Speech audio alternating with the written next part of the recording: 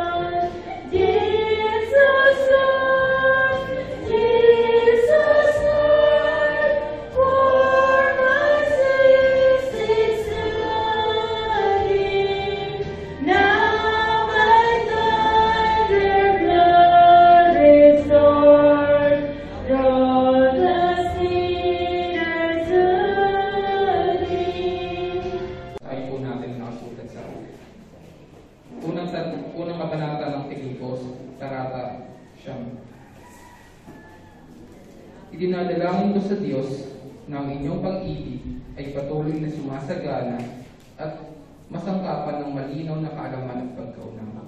Sa Diyos ko lang ang patuloy.